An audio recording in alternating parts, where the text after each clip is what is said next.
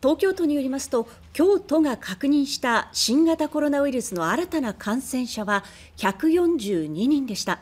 昨日は177人おとといは66人でした。